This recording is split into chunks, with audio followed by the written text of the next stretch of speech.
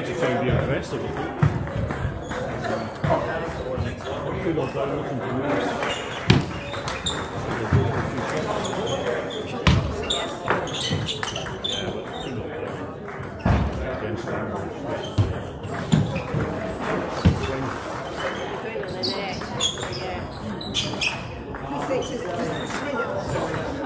Thank you.